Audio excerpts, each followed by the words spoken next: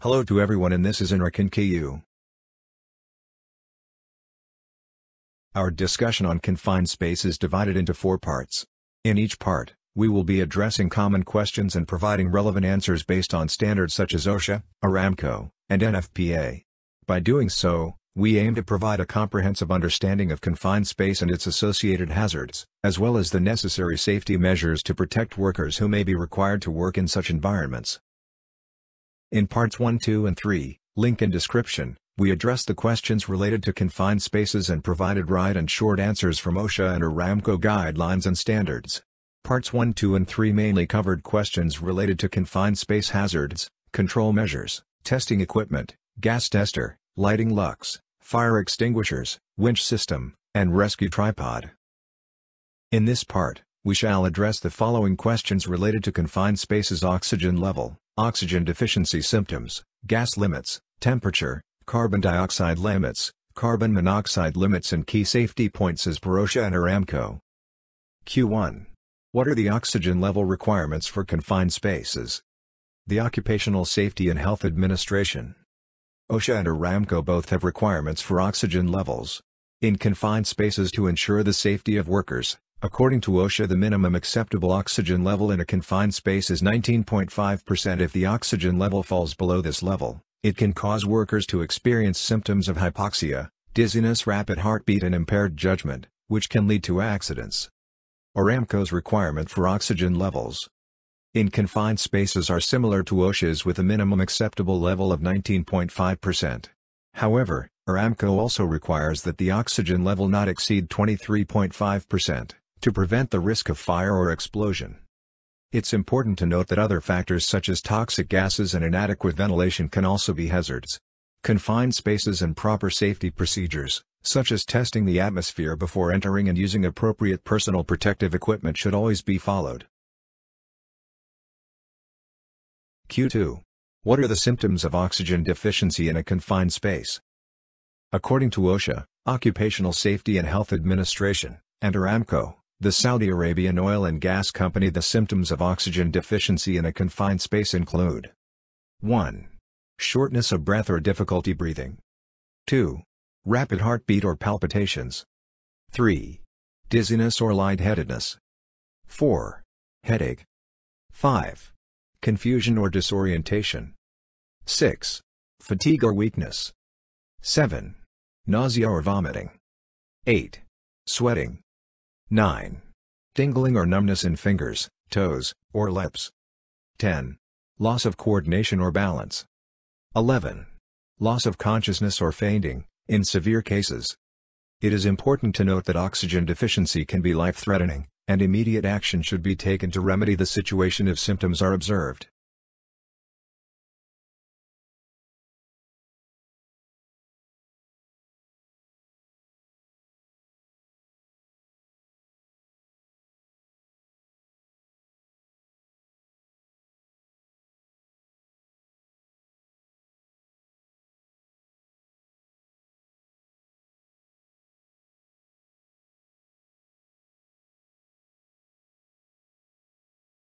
Q3.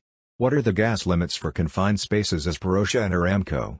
OSHA and Aramco have established gas limits for confined spaces to help protect workers from the harmful effects of toxic and flammable gases. Here's a brief overview of the gas limits for confined spaces as per OSHA and Aramco. OSHA, OSHA's Confined Spaces Standard, 29 CFR 1910.146, requires employers to test the atmosphere in a confined space for three specific types of gases before workers enter, oxygen content, flammability, and toxicity. The standard sets the following limits for these gases. Oxygen content, the minimum acceptable oxygen level in a confined space is 19.5% and the maximum acceptable oxygen level is 23.5%. Flammability, the lower explosive limit, LEL, for flammable gases in a confined space is 10% of the gas's lower explosive limit or less, depending on the specific gas. Toxicity OSHA has established permissible exposure limits, PELs, for a variety of toxic gases that may be present in confined spaces, such as carbon monoxide, hydrogen sulfide, and ammonia. The PELs vary depending on the gas and the duration of exposure. Aramco, Aramco's Environmental Protection Standards, EPS, 012007, Confined Space Entry, sets the following gas limits for confined spaces. Oxygen content The oxygen concentration must be maintained between 19.5% and 23.5% to prevent the risk of fire or explosion. Flammability The level for flammable gases in a confined space must not exceed 10% of the gas's lower explosive limit. Toxicity Aramco's EPS 01007 lists specific exposure limits for various toxic gases that may be present in confined spaces, such as hydrogen sulfide, carbon monoxide, and chlorine. The exposure limits vary depending on the gas and the duration of exposure. It's important to note that these gas limits are not the only factors to consider when working in a confined space. Employers should also take into account the physical characteristics of the space, the presence of other hazardous materials, and the use of appropriate personal protective equipment and safety procedures.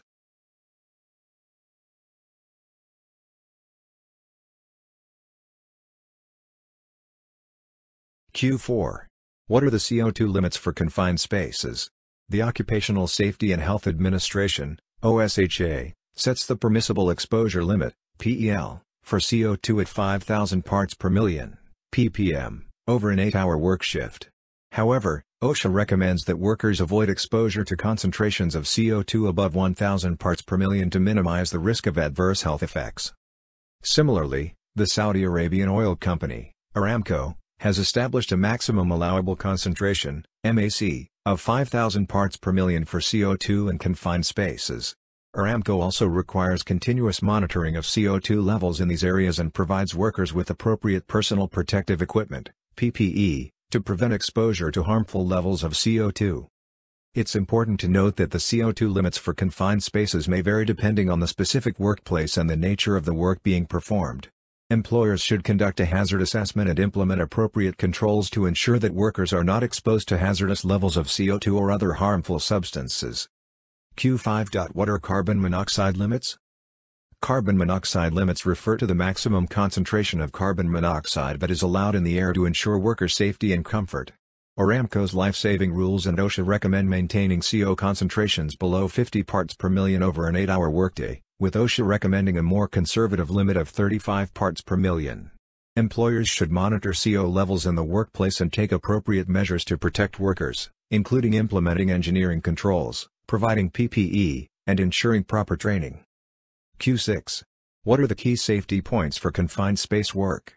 A. Atmospheric gas testing must be conducted by a certified gas tester using only gas monitor equipment.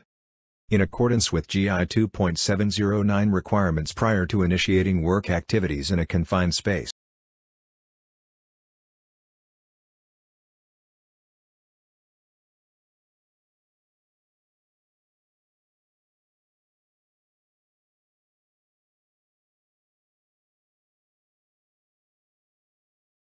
Confined space. B. other potential toxic gas concentrations are at or below their threshold limit value, TLV. C. Never attempt a rescue unless you are trained and equipped to properly perform a rescue. D. Never use CO2 fire extinguishers inside confined spaces because they can displace breathing air. E. Never use plant air or engine-driven compressed air to ventilate. F. Hot work is not permitted if the atmosphere is above 0% level. In Part 1 to Part 4, we address the following questions related to confined space entry, hazards, testing, and limits, equipment, questions and answers from OSHA-NFPA-Aramco guidelines. 1. What is the definition of confined spaces per OSHA? 2. Who is considered a confined space competent person? 3. What are the different types of confined spaces? 4. What is a confined space ticket and why is it necessary? 5. What are the common confined space hazards and how can they be controlled? 6. What are the specific confined space hazards that need to be considered for entry? 7. What are some best practices for confined space entry and work? 8. What is the importance of testing confined spaces before entry? 9. What are the oxygen level requirements for confined spaces? 10. What are the symptoms of oxygen deficiency in a confined space? 11. What are the gas limits for confined spaces as per OSHA and Aramco? 12. What are the temperature limits for confined spaces? 13. What are the CO2 limits for confined spaces? 14. What are the CO limits for confined spaces? 15. What are the explosive limits for confined spaces? 16. What testing equipment is necessary for confined space entry? 17. What kind of lighting is required for confined space work? 18. What is the minimum lighting lux level required for confined spaces? 19. What kind of gas tester is necessary for confined space entry? 20. What kind of fire extinguisher is required for confined space work? 21.